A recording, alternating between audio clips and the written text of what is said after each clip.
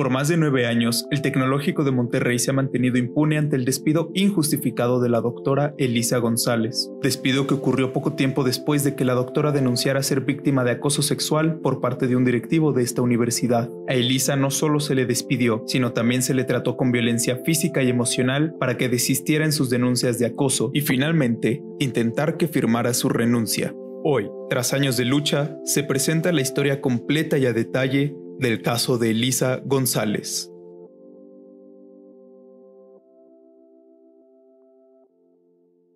Muy buen día, comenzamos con la segunda parte de esta entrevista sobre acoso, violencia e impunidad en el Tecnológico de Monterrey.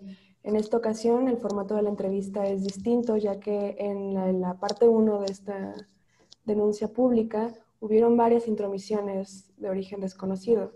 Pero bueno, con nosotros está nuevamente la doctora Elisa González. Muy buenos días, Elisa. ¿Cómo te encuentras? Hola, ¿qué tal? Muy bien, muchísimas gracias y pues gracias nuevamente por esta oportunidad de ser entrevistada.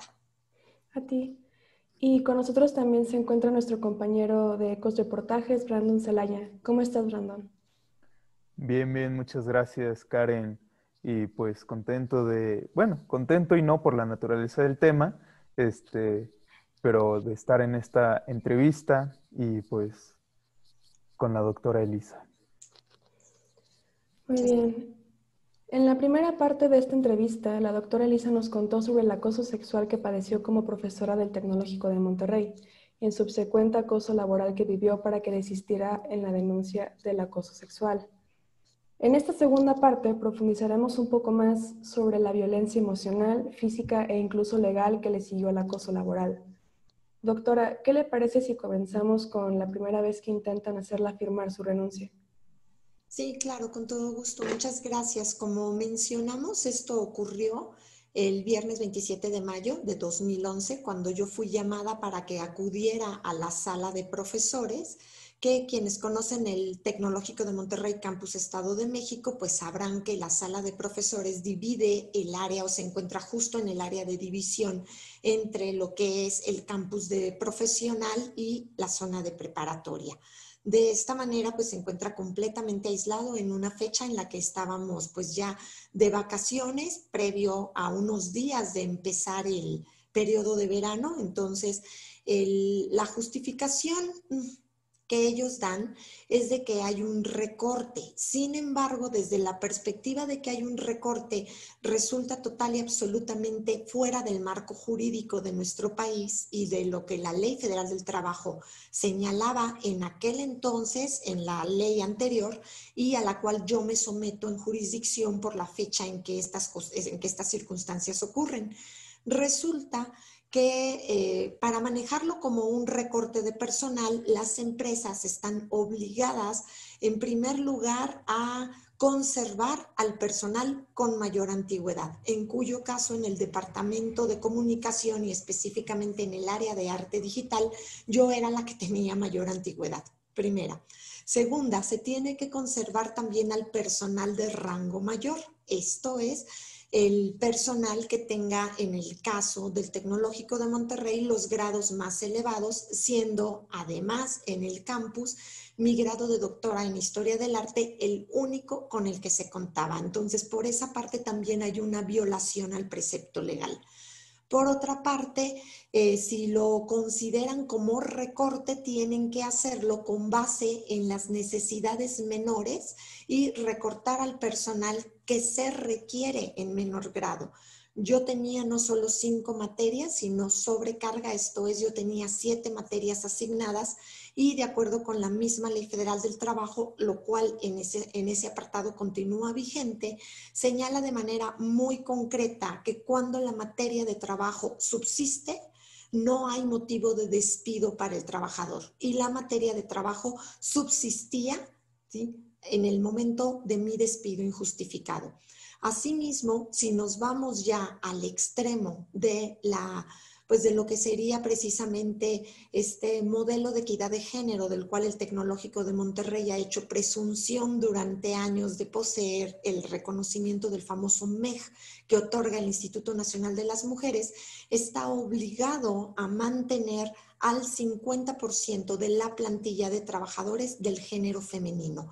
Y en el área en la que yo me encontraba, yo era la única mujer. Entonces, por donde lo vean, no hay una justificación. Y a esto pues le sumamos el hecho de que yo había ya presentado las quejas y había recibido amenazas constantes de parte de la doctora Vega, ¿sí? Y de la maestra Verónica, donde se me hablaba pues precisamente como directora de la división y directora académica, reitero, del Campus Estado de México del Tecnológico de Monterrey, se me señalaba pues que eran mis últimos días en el trabajo y que disfrutara mi oficina, ¿sí? Entonces la violencia emocional y psicológica era constante y aquel 27 de mayo se hizo muy patente al acercarme yo a la oficina y bueno, cuando a mí me dicen tienes que ir a mediodía a la sala de profesores, yo acudo y me encuentro allí al representante de talento humano, ¿sí? el maestro Carlos, y me encuentro a la doctora Silvia, donde se nos señala precisamente que tengo que firmar la renuncia. Yo les dije, no voy a firmar una renuncia porque yo no estoy renunciando. Y en esto quiero hacer muchísimo hincapié, ¿sí? Estamos ya en octubre del 2020 y reitero, yo no renuncié al tecnológico de Monterrey, yo no salí, a mí me sacaron por la fuerza. Y entonces, bueno, viene una primera parte, un finiquito que podrá mostrarse a las personas, un primer, un primer finiquito donde a mí pues me hacen una contabilidad bastante eh, básica que corresponde a cuando una persona renuncia, ¿sí? Y ahí tenemos una cantidad de 94 mil pesos. En este caso, ellos me dicen, este, pues firma tu renuncia, te vas con 90 días de sueldo y les dije, no, Primera, porque no estoy renunciando y segunda y más importante, porque ni siquiera sé si estas son las cantidades que me corresponden. Se las voy a hacer llegar a, pues a mi área de contabilidad, a mi contador, para que las revise. Sí, ah, ok, bueno, pues revísalo. Finalmente es 27 de mayo, tu contrato está vigente hasta el martes 31, así que no hay, este, no hay problema y pues el lunes lo platicamos. Para esto yo solicito una revisión con el director del campus Estado de México, el doctor Grasa, y a mí me dicen que no, que no se encuentra. Irónicamente, ni mi jefe ni nadie estaba en el campus en ese momento. Entonces me dan cita para el día lunes, cuando yo me presento con él. Le digo que esto no está bien, que cómo es posible que esté ocurriendo esto, me da un trato totalmente indigno, no ni siquiera me invita a pasar a su oficina, me recibe en la puerta como si fuera yo del área de mensajería que nada más va a entregarle un documento y me dice, pues reitero, ¿sí? El, pues déjeme revisar todo esto para ver si reitero o retiro esto. Pues por supuesto era una forma muy, llamémosle, gentil, que no es el término adecuado, en realidad es una manera de darle a tole con el dedo a un empleado, como nada más para decir, quítate de encima en este momento, y bueno, posteriormente tendríamos otra reunión donde ya no sería tan gentil el señor, ¿verdad? Y entonces eh, me, me hacen otros dos ofrecimientos, ven que yo no me retiro, ven que no me retiro, y me hacen otros dos ofrecimientos. Ya me hacen un ajuste por los días respectivos y la cuenta de 94 mil, como se puede ver en los documentos, ha subido a 103 mil. Al día siguiente me hacen otro ofrecimiento. Curiosamente es un día más, pero ya es un día menos de sueldo. Yo le dije, ¿qué no se supone que tendría que subir un día más? Eh, no, pues no, no me voy y no me voy porque yo no estoy renunciando. Si lo que quieren es despedirme después de que presenté las, las quejas por acoso sexual de parte del coach eh, Chávez y de parte también de la hostilización y las amenazas y todo el maltrato del que me ha hecho objeto la doctora Vega, bueno, pues no hay ningún problema yo me voy, porque este ya no es un instituto en el que deban tener una persona que sí creen ustedes, puesto que mienten. ¿Sí? Y entonces me, me dicen, no, bueno, pues es que tiene que firmar la renuncia. Dije, no firmo ninguna renuncia, dame mi liquidación. Es que es lo mismo que un finiquito, no es lo mismo que un finiquito. Un finiquito es cuando yo renuncio y ustedes me dan la parte legal que me corresponde porque yo renuncié a todas mis prerrogativas y derechos pero como ustedes me despiden, ustedes tienen que cumplir con todo esto. Y ellos dicen, no, o sea, tiene que firmar la renuncia. Finalmente, soy desalojada por la fuerza con los policías, como ya narré también en la entrevista anterior. Y bueno, pues uno de ellos me dice que no regrese al campus porque me van a mandar llamar nuevamente y que no regrese. Yo ya había eh, pues solicitado eh, pues que me recibieran y pues no me habían recibido. Yo ya había llamado a rectoría, me había atendido la secretaria particular del rector, el profesor David Noel, y me dicen que no, que, no había problema, que me lo iban a resolver en la zona de rectoría en Ciudad de México. Finalmente no me lo resuelven porque para esto el doctor Molina, que era el otrora director del campus Ciudad de México y rector de zona, me señala que no tiene tiempo para recibirme y que él no recibe personal que no sea de planta, que lo tengo que arreglar en mi campus. Y si eso no es discriminación, pues no sé qué es.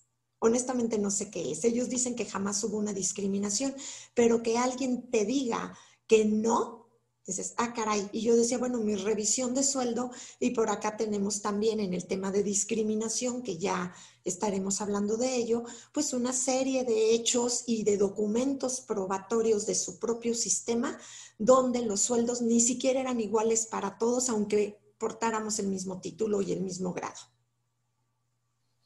Ahorita nos mencionó este episodio de los policías que tratamos un poco la, entrevista pasada y me gustaría ahondar un poco en este episodio porque eh, pues es uno donde se mezcla la, violencia física e incluso una amenaza. ¿Podrías explicarnos un poco más de esto, Elisa?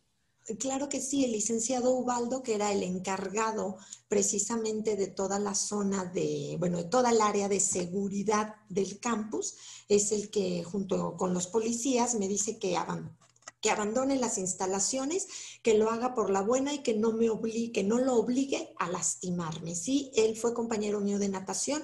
Finalmente, cuando yo iba a natación en el turno matutino, en el primer turno, los únicos que entrenaban antes que nosotros eran los del representativo estudiantil. Yo formaba parte del representativo de profesores, esto es de empleados. Mientras que ellos entrenaban primero, teníamos que esperar a que salieran. En esta parte de la alberca, quienes conocen el campus saben que hay un único acceso, no hay más, y generalmente está un vigilante. Este, este vigilante se iba turnando, no siempre era el mismo, los iban turnando en diferentes áreas del campus. Sin embargo, este señor cuyo nombre me solicitó ser omitido por temor a represalias, en su momento eh, me acompañó al automóvil y me dijo que no regresara al campus con el vehículo, que me iban a mandar llamar y me dijo, no traiga su carro, profesora, porque tenemos órdenes de abrirlo, ¿sí? meterle una computadora y en el momento en el que usted salga, hacerle una revisión exhaustiva. Y como se va a encontrar la computadora, pues se le va a acusar de robo, se le dirigirá a Barrientos, que es el penal más cercano que tenemos, para ponerla a disposición, de tal manera que o firme usted la renuncia o se quede en la cárcel por robo calificado en ese momento y comprobado. ¿Por qué? Porque usted va a estar con testigos dentro del campus. Entonces, no traiga esto. ¿Qué es lo que ocurre? Hay personas que me dicen, oye, pero ¿por qué fue tan gentil este oficial contigo? ¿No? Porque como yo platicaba con él al momento de entrar a la alberca algunas veces, en una ocasión lo vi tremendamente eh, meditabundo y muy serio. Le pregunté qué, qué, tenía. Me dijo que tenía un problema muy grave, que su hijo estaba hospitalizado y que no, eh, pues, que no encontraba suficientes donadores de sangre para poder llevar a cabo la cirugía y yo doné sangre para que pudieran ¿sí? llevarla a cabo, bueno, evidentemente junto con otras personas, no solo yo. Él me quedó agradecido y cuando me abrió la puerta del carro, porque fue suficientemente gentil para abrirme la puerta del carro para que yo subiera, me dijo, no recuerdo lo que, no, no olvido, doctora, siempre recuerdo lo que hizo por mi hijo. Por favor, no regrese con el carro y no regrese sola porque su integridad está en peligro.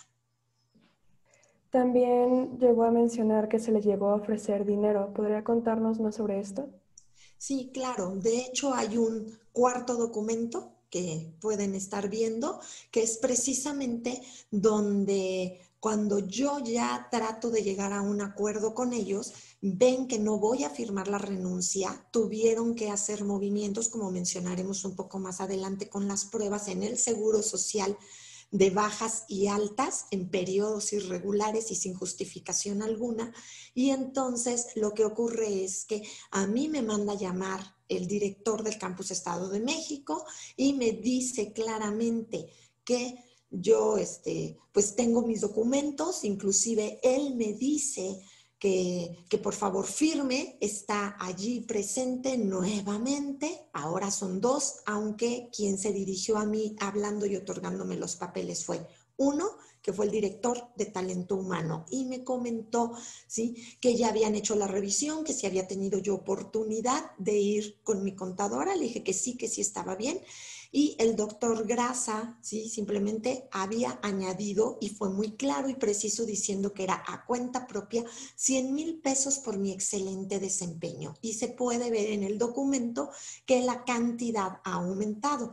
A veces me dicen, pero no son 100 mil exactos. Sí, lo que pasa es que al aumentar la cantidad, pues también retiene la, digamos, se incrementa la retención de impuestos. Entonces pareciera que de 102 mil pesos se subió a 187 mil y me dirán, esos no son 100 mil. Bueno, es que evidentemente el impuesto sobre la renta se elevó. Y también me ofrecieron allí porque había un ajuste de unos reactivos que habíamos realizado para exámenes que se hicieron en el campus Santa Fe y que tenían ese adeudo.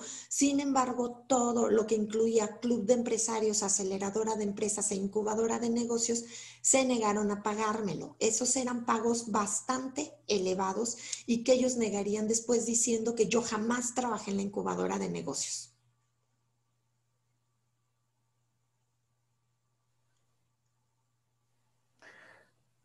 Aquí tenemos una pregunta que va más allá de todo esto de que te ofrecen dinero, que, te sacan a la fuerza con los policías.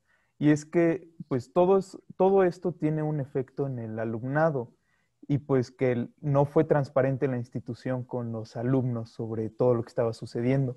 ¿Podrías decirnos un poco de cuál fue la respuesta que tuvo el TEC con los alumnos ante tu despido injustificado? Pues se sintieron mucho. La mayoría no se enteró, reitero, era época de vacaciones, se enteraron algunos que tomaron verano. Ellos fueron los que se enteraron y empezaron a visitarme, los que ya estaban muchos en el intercambio en el extranjero, la mayoría de vacaciones, no se enteraron. Yo todavía en agosto del 2011 recibí un correo electrónico donde los alumnos me decían, una alumna me reclamaba de una manera desagradable, inclusive por medio de mensaje de texto. Recordemos que los teléfonos en aquel entonces pues, no tenían el WhatsApp todavía. Y entonces me mandó decir, Elisa, discúlpame por lo que te voy a decir, pero que poco profesional eres, qué mala onda, porque yo vengo llegando del extranjero, inscribo dos materias contigo, empezaron las clases y tú no estás. Fuimos a preguntar por ti. Y nos dijeron que te fuiste la semana anterior, literal, el director de arte digital y la directora de la división fueron los que recibieron a los alumnos y les dijeron, Elisa, Elisa se fue como chacha el viernes, cuando empezábamos el semestre lunes, ella se fue el viernes como chacha y sin despedirse y nos dejó colgados, simplemente avisó que ya no regresaba. Entonces, qué poco profesional eres, de haberte ido de esa manera porque yo no tomé estas materias ni en verano ni en el extranjero porque quería tomarlas contigo. ¿sí? Entonces yo le marco a la alumna y le dije, ¿sabes qué? Yo no sé por qué me dices esto, porque yo no trabajo con ellos, Y la última clase que di fue en mayo, ¿sí? Y yo estoy fuera desde el 16 de junio en que me sacaron por la fuerza con cinco policías. Y me dijo, ¿qué? Le digo, sí, dice, no es posible. Le digo, claro que sí. Claro que sí, y tengo testigos y te lo pueden decir. Me dice, no es posible, te voy a decir por qué. Porque en el sistema tú estás activa. Le dije, ¿qué? Sí, sí, y me mandó las pantallas. Me dijo, mira, aquí apareces, aquí estás activa, aquí está mi horario y aquí apareces tú como profesora titular y el profesor Emanuel como cotitular y tú estás aquí. Y no es la única materia. tú estás, a nosotros nos estás apareciendo como personal activo y nos están diciendo que eres nuestra maestra. ¿Sí? Chicos, eso se llama fraude académico. Es utilizar un grado doctoral para alguien que no lo tiene para cubrir la cantidad de doctores que exige CEP, FINTES y SACS. ¿Sí? Eso es fraude académico.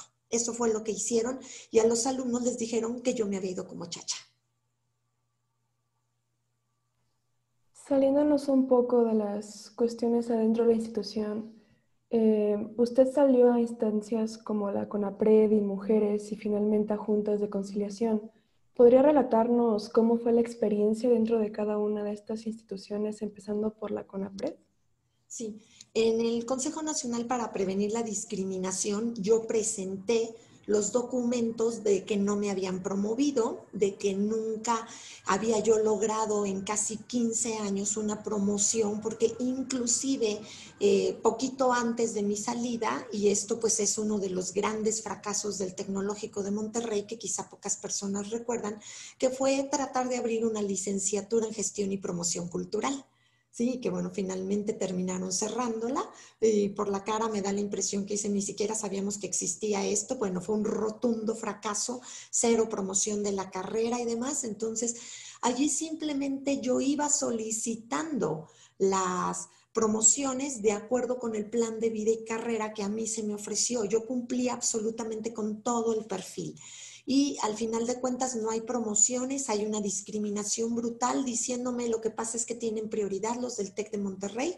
Yo dije, bueno, eso es relativamente comprensible. Sí, si tú tienes dos personas, lo que decíamos, bueno, pues si tú tienes un mexicano o un extranjero con las mismas credenciales, le tienes que dar prioridad al mexicano, cosa que tampoco ocurrió, porque trajeron extranjeros y les daban puestos de planta cuando yo tenía las mismas credenciales. Inclusive en el área de arte digital, nadie de los que se quedaron después de mí tenía las credenciales para la parte de historia del arte, arte contemporáneo, arte y sociedad, porque ninguno tenía formación de historiador del arte. Nadie, nadie. ¿Sí? Y entonces, ¿qué es lo que ocurre? Ya ni siquiera importaba si tenían grado doctoral o no, no tenían la formación. ¿Sí? Así de fácil. Y eh, finalmente yo acudo a CONAPRED y ellos me dicen o me señalan de manera específica que al lugar que se le da entrada a la conciliación y cuando el abogado llega, él viene, eh, no viene de Estado de México, es un abogado que yo no conocía, se presenta ¿sí? Y simplemente él dice, pues, que es el representante legal de esta zona de la rectoría y cabe aclarar que en este momento él es el abogado general del, del TEC de Monterrey, ¿sí? O del Tecnológico de Monterrey.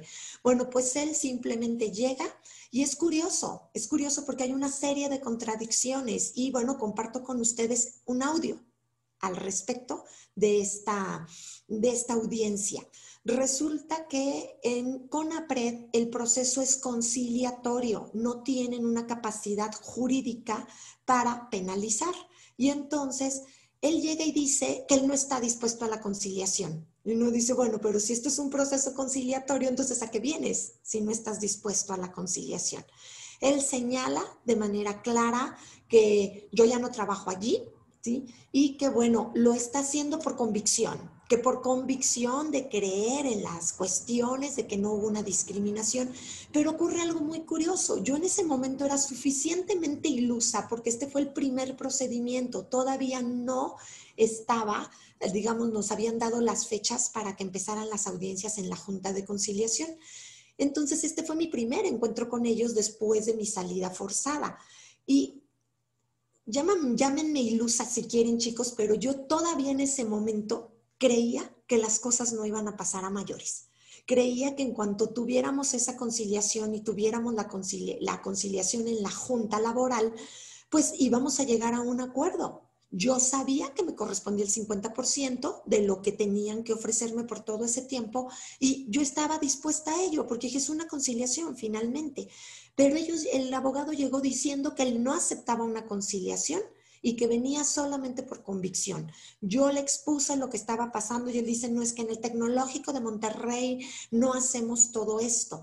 Y yo le dije en ese momento, bueno, es que yo estoy siendo discriminada y pues mal atendida tanto por el director del campus como por la directora de la división. Son las personas específicas, ¿sí?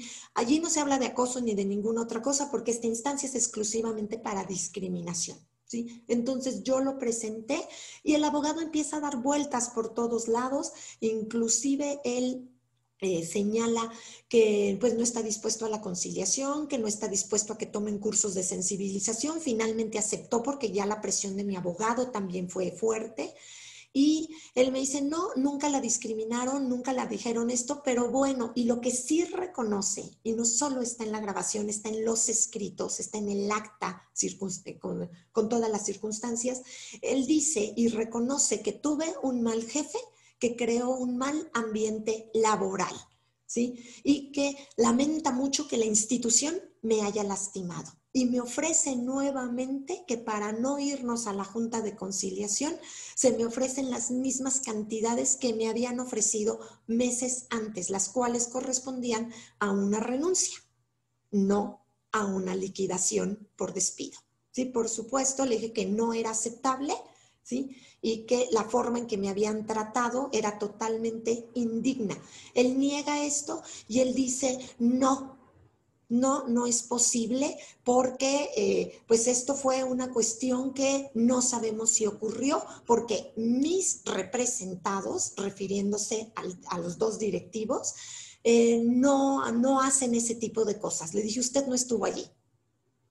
¿Sí? Y entonces, bueno, una junta de casi 50 minutos versó exactamente sobre lo mismo, diciendo miles de cosas respecto a las maravillosas personas que nunca me discriminaron, que no tenía nada que ver, que no se me había promovido. Inclusive él señaló de manera muy puntual que no se me promovió porque había personas que cubrían mejor el perfil que yo, cuando eso no era cierto, porque nadie nunca pudieron demostrar en ninguna instancia y hasta la fecha que hubiera una persona que cubriera el perfil mejor que yo. Así de fácil. Sí, en estos momentos vamos a poner unos aspectos relevantes de, esta grabación. Las voces van a ser modificadas en las partes que no pudimos contactar para esta entrevista y para cuidar su privacidad, claramente. Sin embargo, les hacemos notar que esta grabación es de esta audiencia que hubo en la CONAPRED, donde se escucha al actual abogado representante del Tecnológico de Monterrey, a Elisa y al abogado de Elisa. De antemano les digo que si llegamos al aspecto, este, eh, bueno, más bien antes de que nosotros sepamos del, aspecto laboral, bueno, pues finalmente en este momento sí mi ofrecimiento sería, este, eh, yo tengo entendido que usted no, eh, no, este, simplemente se fue y no firmó absolutamente nada. No, no me fui, me sacaron del. Bueno, laboralmente hablando son términos, insisto, son términos este, eh, que no, creo que ni siquiera tiene sentido que lo discutamos en este momento, en este foro, pero sé finalmente que ahí está esa situación y que finalmente también para usted o ustedes, yo entiendo que para el abogado no, porque finalmente eso nos dedicamos, este, pero para usted finalmente va a ser también algo eh, de desgaste.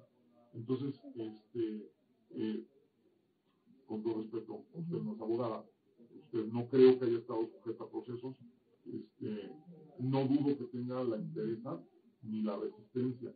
Yo creo que sí la tiene, es una persona luchadora, eso lo tengo perfectamente claro. Una persona que empieza luchando por una condición tiene la interés suficiente. Como seres humanos, yo creo que hasta el abogado se lo puede decir, nosotros siempre vamos a tratar de tener más, más bien un mal arreglo que un buen pleito. Y eso es lo que le recomendamos a nuestros clientes. Este, por supuesto, eh, insisto, el hacer ese ofrecimiento con el fin de no tener un desgaste eh, por parte de usted. También, este, dado que la respuesta que me da es tan nula como la que me dieron allá cuando pedí explicación. No es nula. No le voy a decir por qué. Usted me dice, ya tuve una conversación con el Usted me dice, ya, ya tuve conversación con los directivos y le dieron el motivo. ¿Sabe cuál fue la respuesta del doctor Gracia? ¿Cuál fue su respuesta? Sí, textualmente. Es la ventaja de tener memoria de historiador. Claro. ¿Me va a disculpar, profesora Elisa? No le puedo dar ningún motivo porque nos reservamos. Así como tenemos nuestros motivos para contratar personal, tenemos motivos para separar al personal y no tengo por qué darle una explicación del por qué se les retira del de Eso fue todo. El doctor dijo, bueno, me reservo el derecho. Pues sí, desafortunadamente todos los patrones tienen esa facultad con base en la ley. Desafortunadamente todo este problema tiene origen, sí, tiene origen y desde mi punto de vista debe ser el que usted tuvo un mal jefe que además generó toda esta situación. Pero pero esa situación no tiene nada que ver con Pero curiosamente ese jefe sigue al interior recibiendo un salario cuando yo estoy al exterior. Porque la consideración, porque la consideración finalmente pudo ser, desde el punto de vista, y eso es totalmente natural, este, si yo tengo un equipo de trabajo y en mi equipo de trabajo hay una persona que constantemente se manifiesta inconforme, ¿sí? Este, y me está generando problemas, bueno, pues entonces separo a la persona que me está generando problemas. Qué curioso. Digo, es una 14 años y medio, durante 14 años no presenté jamás una queja, durante 14 años. Presenté dos quejas por abuso, por difamación, por maltrato y por amenaza. Y a raíz de ahí me separan a mí en lugar de meterle una revisión a esta persona. Para concluir, el hecho de nuestra queja, abogada, básicamente es porque entendemos que las personas pueden fallar. el problema es que la institución está siendo facilitadora está siendo permisiva de que esas fallas trasciendan de la manera como trascendieron aquí. Y aquí venimos porque realmente nos duele que, en una institución de ese prestigio se puedan dar o se puedan interpretar hechos que pasan ahí como, como una discriminación. Eso es todo. Bueno, en este audio podemos notar que se escucha a este representante legal del Tecnológico de Monterrey decir una frase clave, en mi opinión. Dice, usted se va a desgastar y nosotros no. Y que más le vale cerrar un mal negocio que un buen pleito. Eh, esto para mí tiene un mensaje implícito, una cierta amenaza, ¿no? Del poderío económico, político y legal, y que pues, usted como un individuo, una profesora que corrieron, pues se va a acabar desgastando, pero ellos no. Y, esto es lo que mencionamos justo como un tipo de violencia legal. Y aquí también quisiéramos que nos contara un poco sobre la violencia que sobrepasó lo legal, sobre una violencia que intentó silenciarla también a través de sus familiares. Sí, mira, cuando pues yo me encontré en esta circunstancia, tuve que regresar a vivir a casa de mis padres porque evidentemente no tenía la manera de seguir sosteniendo ni el pago de la casa que perdí, cuyo dinero jamás me fue repuesto, porque cuando tú firmas un contrato y entregas dicho dinero, si tú renuncias a continuar con el proceso de compraventa, pues es imputable a tu acción y entonces no eres susceptible de que te devuelvan ese dinero. Entonces yo perdí una gran cantidad de dinero por ello. Además, yo vivía en TechSuites, justamente enfrente del campus tenía yo un convenio, por allí se puede ver también mi credencial y algunos documentos de TechSuites, como esto lo tenían como estudiantes, yo les decía, bueno, pero ¿por qué? ¿Por qué dice estudiante y no profesor? Dice porque, bueno, pues aquí como, como son suites académicas, las credenciales de todos dicen estudiantes y lo único que hace es que se te pone la foto y se pega y todas están, no son una credencial que hicimos de la compu, sino que ya tenemos los tarjetones impresos y bueno, pues así dice, pero no era yo la única profesora que vivía allí, cabe aclarar. Y entonces yo regreso a vivir a casa de mis padres y ellos empiezan a recibir de repente algunas llamadas. Y una de las llamadas más específicas que yo estaba, pues yo estaba en clase y evidentemente yo no atiendo el teléfono cuando estoy dando clases y en aquel entonces yo tenía un viper, ¿sí? Él tampoco le hacía yo caso porque estaba impartiendo cátedras en la Universidad Nacional.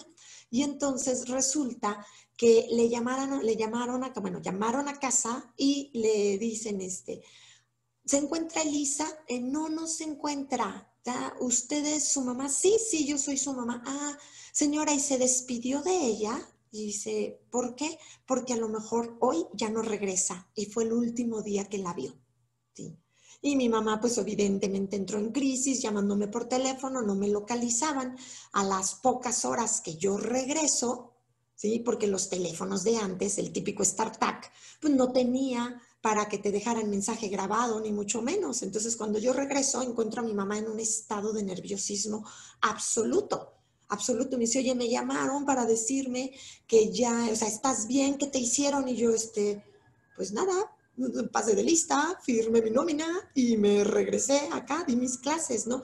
Dice, no, es que llamaron, llamaron. Le dije, bueno, ya sabemos quiénes están llamando, porque yo no tengo problemas con nadie más. ¿sí? Y esto es algo importante de aclarar. Yo no he salido con conflictos ni he sido despedida en mi vida de ningún otro lado. ¿sí? yo he terminado mis relaciones laborales de una manera sana y muchas de ellas subsisten con años y años. Simplemente en la UNAM tengo 28 años de antigüedad. No soy una persona que entre y salga. ¿sí? Y bueno, fueron casi 15 en el TEC. No pueden decir que sea una persona conflictiva porque entonces quien tiene que revisar este tipo de factores le tomó 15 años. Esto es 15 años de alguien que no hizo su trabajo. ¿sí?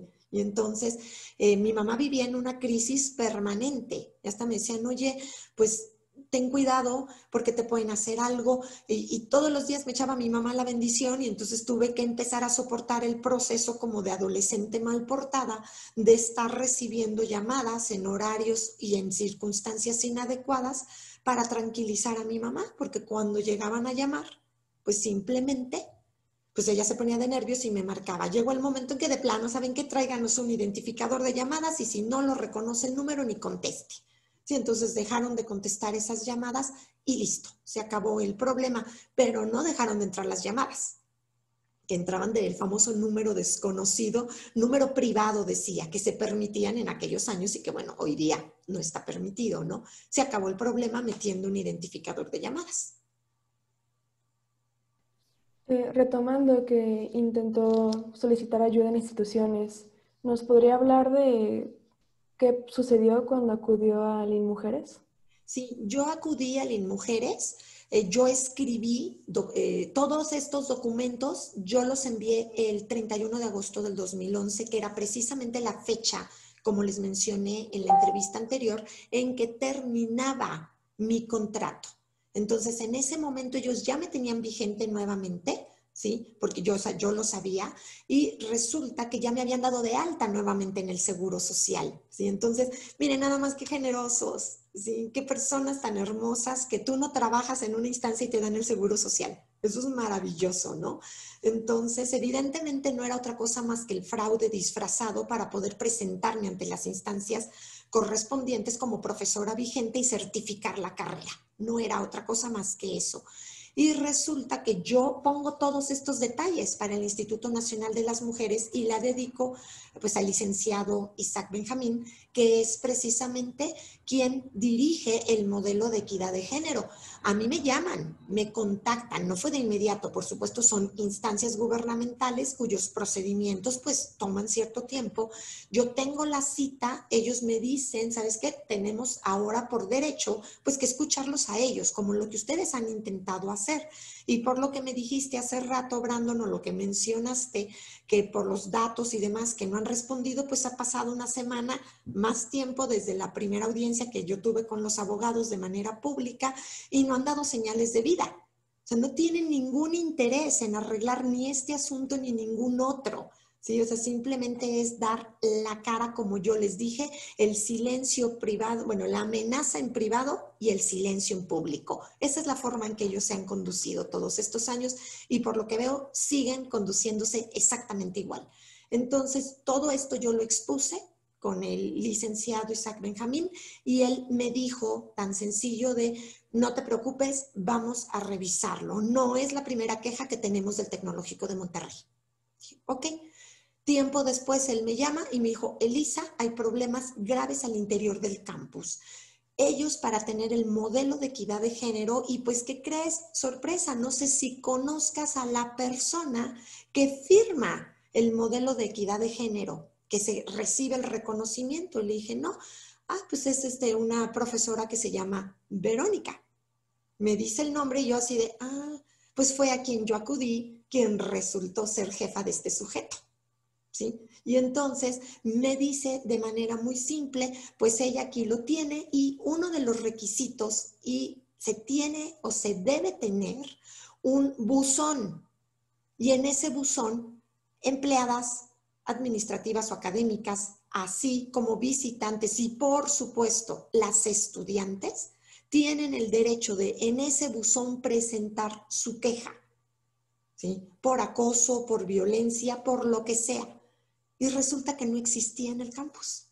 Y entonces le dije, ¿pero qué no se supone que es un...? Le dije, y claro que no existe, porque de haber existido yo lo hubiera utilizado también. Y me dijo, no, es requisito que exista. Y están violando el modelo de equidad de género y se les va a penalizar. A mí lo que me dijo el licenciado fue que durante cuatro meses entraron a revisión y se les retiró el modelo de equidad de género. Esto fue noviembre, diciembre, enero, febrero. Para febrero yo me vuelvo a comunicar con él. Me dijo, son cuatro meses de revisión, comunícate en febrero. No me recibe la llamada a finales de febrero y los primeros días de marzo él me toma la llamada y me dice, Elisa, la situación está muy grave. Cuídate mucho. ¿Por qué? Porque el tecnológico de Monterrey, y cito palabras exactas que me dijo, el tecnológico de Monterrey va a utilizar todo su aparato legal en contra tuya. Para que te pudras en papeles y en procedimientos. Esas fueron sus palabras, ¿sí? Y me dijo, yo te voy a hacer llegar un documento en dos semanas. Tengo que salir a Nuevo León, a otra cosa, no necesariamente a Monterrey. Tengo que ver una instancia. Yo regreso en dos semanas. Por favor, comunícate en dos semanas porque todo esto yo estoy obligado a entregártelo por escrito no nada más en una conversación telefónica. Dije, ok, a las dos semanas le llamé, pues no está. Y a las que comuníquese en dos días y comuníquense en una semana y comuníquese en dos semanas y que está de viaje, pues se sumaron tres meses. Finalmente yo un día me paré en el Instituto Nacional de las Mujeres, llegué y dije, bueno, ¿qué es lo que está pasando? Lo alcancé a ver de lejos, me dio la espalda y se fue.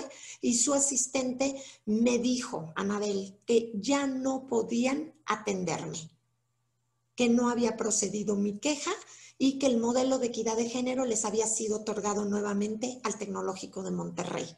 Le dije que yo entregué el documento, le dije, aquí está la recepción que ustedes hicieron del documento, yo lo mandé vía correo electrónico porque es uno de mis derechos como ciudadana y aquí tengo todos los correos electrónicos donde ustedes me respondieron. Aquí están mis citas, aquí está todo lo que he estado haciendo y me dicen, eh, no sabemos de qué nos está hablando, ¿sí? Este, no tenemos respuesta, no tenemos expediente de usted y creemos que se está confundiendo. Y hasta la fecha, el Instituto Nacional de las Mujeres ha incumplido tremendamente. No es difícil imaginar por qué, ¿verdad? Justamente al inicio de esta intervención mencionaste lo del seguro social, que te dieron de alta y después de baja. ¿Podrías explicarnos un poco más de esto y qué papel jugó más Ok, adelante? sí, mira, el seguro social es una prestación que ellos dan para los trabajadores de tiempo completo o de planta. Esta es una figura, actualmente la ley ha cambiado al respecto, pero en el tiempo de mi contratación, esta era una figura eh, jurídica falsa. ¿Por qué?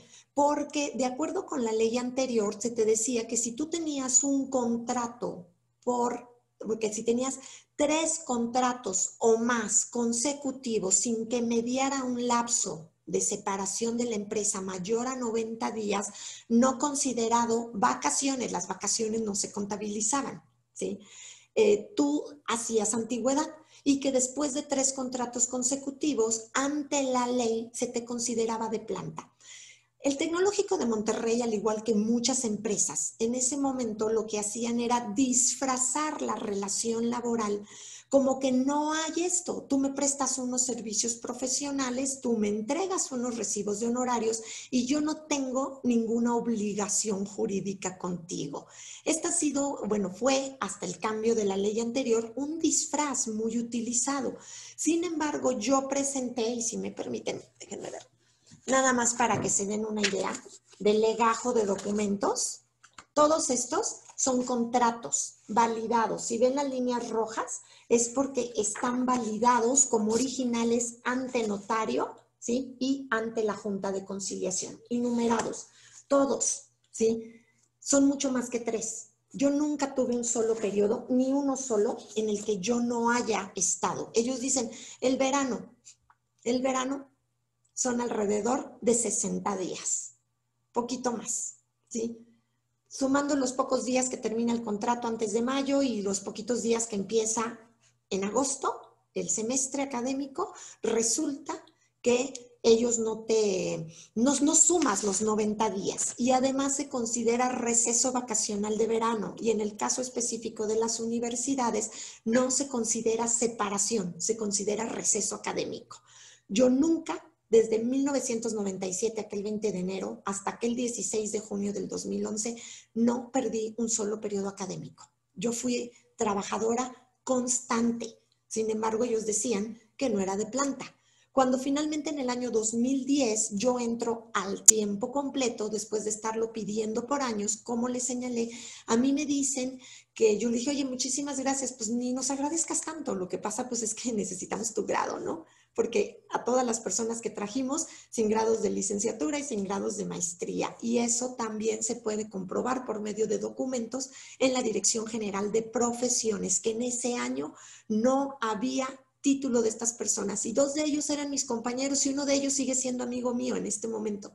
Y a mí me dijo, no te preocupes, Elisa, dilo, dilo. Yo no tenía título de licenciatura cuando entré a dar clases en licenciatura, a pesar de que el Tecnológico de Monterrey exige título de maestría en sus estatutos, ¿sí? Y los otros dos tenían título de maestría, no tenían título perdón, no tenían título de maestría, tenían título de licenciatura.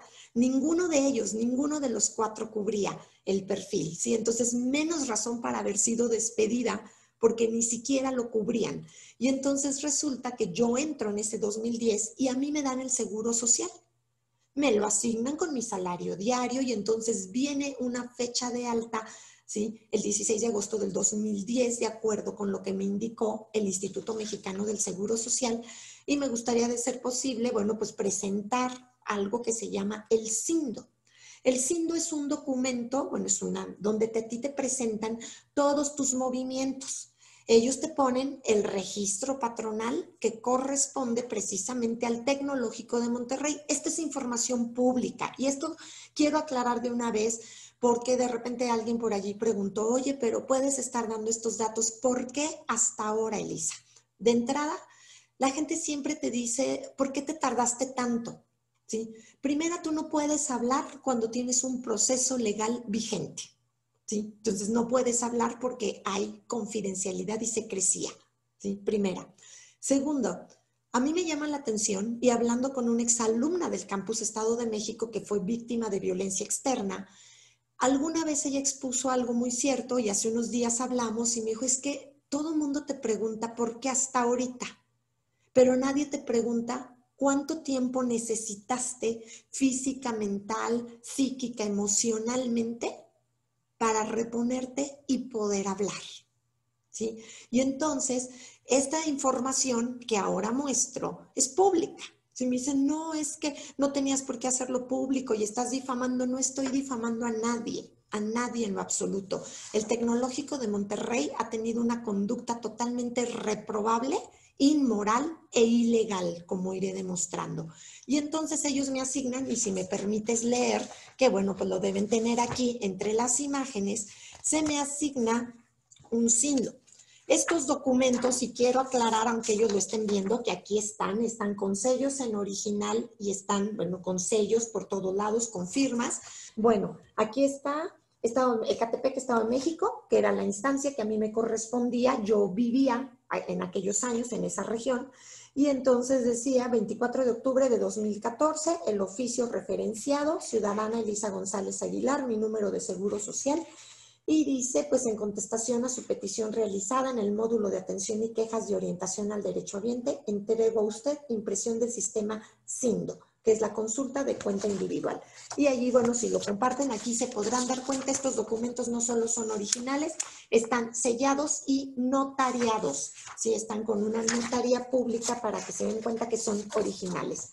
Ahora bien, la consulta numérica de asegurados nos señala claramente el registro patronal. Este registro patronal no es privado, es un registro patronal público. Es el 4 9100 9110, ¿sí? Inciso 3. Y corresponde precisamente al registro patronal del Instituto Tecnológico y de Estudios Superiores de Monterrey. Así fácil, actividad, son actividades educacionales y la dirección, que es la pública, que maneja el tecnológico, Camino Lago de Guadalupe, kilómetro tres y medio. Sí, y entonces, bueno, aquí la subdelegación y demás. ¿Qué es lo que se señala aquí? Se me entrega también un documento donde queda muy claro que es el TEC de Monterrey y viene lo que son los movimientos, donde se me señala, que por allí creo que van a poner ustedes uno de manera muy clara, lo que son mis bajas. Entonces yo tengo un reingreso porque años antes yo había tenido seguro social también como estudiante de la UNAM, ¿sí? Y entonces tengo un tipo de movimiento el 16 de agosto del 2010 y luego ellos tienen que hacer, para las personas que no saben cómo funciona esto, es, ellos tienen seis bimestres. Tú tienes los primeros días del mes para dar de alta a un trabajador y bueno, pues cada dos meses tienes que estarlo dando de alta, ¿sí? Entonces, bueno, no dando de alta, sino si hay alguna modificación. En caso de que sea un trabajador de planta, bueno, pues lo dejas como indefinido.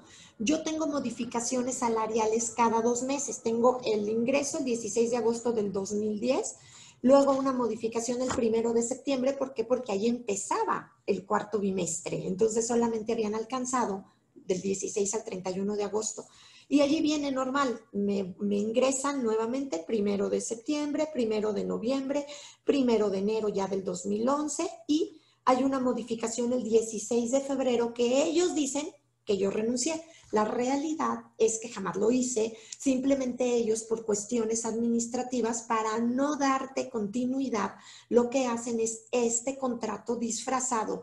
Pero ¿quién va a terminar el 15 de febrero si estás en plenos exámenes primeros parciales?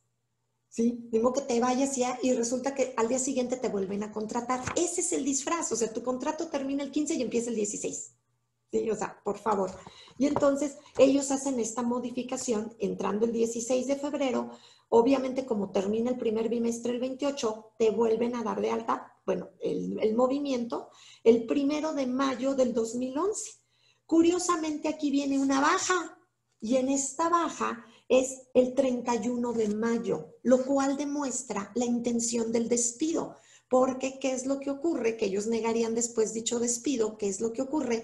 Tenemos 31 de mayo y junio, tercer bimestre. Y luego me reingresan para empezar nuevamente el primero de junio, pero ya se les había pasado la fecha porque yo no me había ido. Curiosamente, me tienen con modificaciones de salario hasta el primero de septiembre. Y luego, o sea, ya es desde junio, me llevan desde junio hasta agosto, junio, julio y agosto, tres meses. Esto es totalmente inusual y está en el CINDO. Después viene la modificación del salario primero de septiembre del 11, primero de noviembre del 11, primero de marzo del 12. Chequen cómo están haciendo esto. Y todavía tenemos primero de mayo del 12, primero de septiembre del 12, baja definitiva 22 de octubre del 2012 cuando todavía no iniciaba el juicio laboral. ¿sí? Ellos me mantienen aquí porque en ese año hicieron las certificaciones de SACS. Me necesitaban vigente en ese momento. Y además la ley, la nueva ley federal del trabajo, entra en vigor en octubre. Y ahí la ley dice que ya no es obligatorio que mientras haya un juicio mantengan las prestaciones contractuales del trabajador. Y de esa manera, pues ellos dicen, ya, ya le di un año el seguro, ya no tengo ninguna obligación. Sin embargo, esto es otro de sus grandes fraudes. ¿sí? Entonces, ellos después negarían, como viene en uno de los apartados, donde da respuesta a la Junta de Conciliación el despacho que ellos contrataron. Y entonces ellos responden de una manera muy concreta que yo no tuve prestaciones más que las de ley. ¿sí? Y aquí dice, y cito, es el numeral 9 romano, ¿sí? Y dice, carece de acción y derecho la actora para reclamar de mi mandante el mantenimiento de inscripción en el IMSS, Infonavit y Afores, así como el pago de las cuotas y aportaciones que correspondan con la integración salarial que enuncia, ni ninguna otra cosa, así como el pago de gastos médicos en virtud de que no existe fundamento de hecho ni de derecho que sirva para tal reclamación. Ellos dicen que yo jamás gocé de este privilegio. En la demanda, ellos dicen que yo no tengo derecho a exigir el seguro social, ni las cuotas, ni las retribuciones respectivas, porque de esta manera yo no tuve ninguna de estas prestaciones. Dicen que es falso y que yo no tenía derecho a dicha prestación, que jamás se me otorgó. Y entonces, bueno, ustedes presentarán allí precisamente donde se señala que mis únicas prestaciones era la prima vacacional y el, aguinaldo y los días de vacaciones. Y sin embargo, yo tenía seguro del automóvil, como puede mostrarse en las evidencias, cosa que se supone que no, ellos niegan y después dicen que yo no tengo derecho a ello. Yo tenía 30 días de aguinaldo de acuerdo con los propios estatutos y reglamento del Tecnológico de Monterrey, que fue demostrado por medio de la vía pericial informática, y ellos en una reinstalación disfrazada dicen que no tengo dichas prestaciones, que no tengo oficina cuando yo tenía el cubículo 207 de aulas 2 Dicen que no tengo derecho a tener alimentos dentro del campus.